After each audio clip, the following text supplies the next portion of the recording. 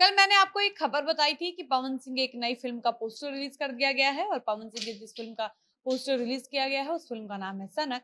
दरअसल कल सुबह सुबह सोशल मीडिया पर एक खबर सामने आई कि भोजपुरी पावर स्टार पवन सिंह की नई फ़िल्म का पोस्टर रिलीज़ कर दिया गया है, जिस फ़िल्म का नाम है सनक। और आपको एक बात बता दें कि मीडिया रिपोर्ट्स के मुताबिक पवन सिंह की इस फ़िल्म की शूटिंग पिछले साल लंदन में हो रही थी और एक साल बाद फाइनली कल पवन सिंह की इस फ़िल्म का फ़र्स्ट लुक पोस्टर जारी कर दिया गया है। इसके अलावा मैंने आपको ये भी बताया था कि पवन सिंह की आने वाली फ़िल्म सनक के निर्माता अभय सिन्हा हैं, जिन्होंने आज से एक महीने पहले दुबई में अवार्ड शो का आयोजन किया था, जहाँ पवन सिंह को बेस्ट एक्टर और बेस्ट सिंगर का अवार्ड भी मिला था। इस फ़िल्म के डायरेक्टर हैं प्रियांशु सिंह और आपको बता दें कि पवन सिंह की इस अपकमिंग फ़िल्म के डायरेक्टर हैं प्रियांशु सिंह और पवन सिंह की इस फ़िल्म के स्टार कास्ट की बात करें तो इस फ़िल्म में लीड रोल में नज़र आने वाले हैं भोजपुरी पावर स्टार पवन सिंह और भोजपुरी की खूबसूरत अभिनेत्रियों में से एक स्मृति सिन्हा। और इस फ़िल्म में पवन सिंह और स्मृति सिन्हा के अलावा नज़र आने वाले हैं भोजपुरी फ़िल्मों में विलेन का रोल प्ले करने वाले अवधेश मिश्रा और संजय पांडे और अमित शुक्ला। अमित शुक्ला वो हैं जिन्होंने खिसारी लाल यादव की फ़िल्म फरिश्ता में खिसारी के पिता का रोल प्ले किया है। लेकिन हम आपको बता दें कि जब इस फ़िल्म का फ़र्स्ट लुक आउट हुआ तो इस फ़िल्म में नज़र आने वाले अमित शुक्ला खुश होने के बजाय लाइव आकर इस फ़िल्म को लेकर खूब भड़कते हैं और इस फ़िल्म से जुड़े सारे लोगों को खूब खरी खोटी सुनाते हैं।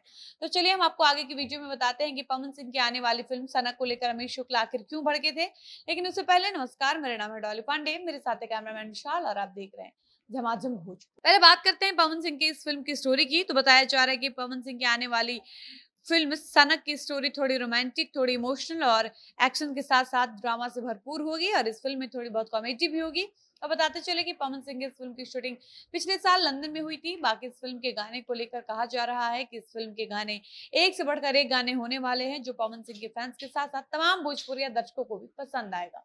बाकी इस फ़िल्म के फ़र्स्ट लुक को देखने के बाद लोगों के मन में ये सवाल आ रहा है कि पवन सिंह इस फ़िल्म का ट्रेलर आखिर कब तक रिलीज़ किया जाएगा? तो आपको बता दें कि सोशल मीडिया पर इस फ़िल्म को लेकर जो खबर सामने आ रही है, उसमें यही बताया जा रहा है कि पवन सिंह की फ़िल्म सनक का ट्रेलर जल्द ही आप सबके बीच, पाँच से छह दिन के बीच रिलीज़ कर दिया जाएगा। अब कुछ लोगों का सवाल ये भी है कि अगर इस फ़िल्म का ट्रेलर आता भी है तो किस चैनल पर आएगा? तो आपको बता दें कि अभी इस बात का कोई ऑफिशियल जानकारी सामने नहीं आया है कि इस फ़िल्म के ट्रेलर को किस चैनल से रिलीज़ किया जाएगा, लेकिन सोशल मीडिया पर इस फ़िल्म का जो पोस्टर रिलीज़ किया गया है, उसको देखकर ऐसा अनुमान लगाया जा रहा है कि इस फ़िल्म का ट्रेलर जब भी आएगा तो कैप्टन वॉच हिट के यूट्यूब चैनल से आएगा या फिर रेशियो फ़िल्म के यूट्यूब चैनल से भी आ सकता है। लेकिन पोस्टर देखकर लग रहा है कि पावर स्टार पवन सिंह इस फ़िल्म को यश फ़िल्म द्वारा प्रस्तुत किया जा रहा है और जल्द ही इस फ़िल्म के ट्रेलर को भी आप सबके बीच रिलीज़ कर दिया जाएगा। अब हम बात करते हैं इस फ़िल्म में काम कर चुके एक्टर अमित शुक्ला की, जो कल लाइव आकर इस फ़िल्म से जुड़े सारे लोगों को खूब सुनाते हैं और अपने लाइव में काफ़ी नाराज़ नज़र आते हैं। दरअसल अमित शुक्ला की माने तो कल अमित शुक्ला को अचानक से एफबी पर एक फ़िल्म के पोस्टर दिखा और अमित शुक्ला ने जब उस पोस्टर को ध्यान से देखा तो उनको पता चला कि वो पवन सिंह की आने वाली किसी फ़िल्म का पोस्टर था जिसमें एक्टर अमित शुक्ला ने भी काम किया था।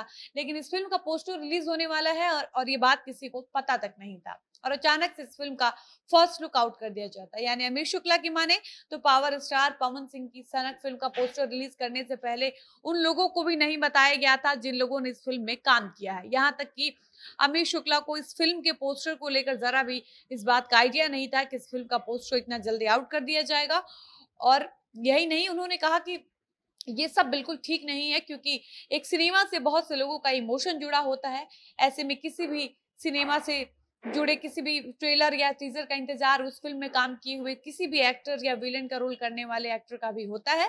इसको हल्के में ना लें क्योंकि कल को आप हम रहे या ना रहे, लेकिन हमारा सिनेमा हमेशा रहेगा तो ऐसे में कम से कम अपनी भाषा से, अपनी सिनेमा से झूठा प्यार करने का दिखावा ना करें। अगर आपके मन में आपकी भाषा के लिए थोड़ा सा भी सम्मान है तो आप अपनी भाषा अपनी सिनेमा के साथ चलाकी मत करिए। अपनी भाषा के लिए हमेशा प्योर रहिए।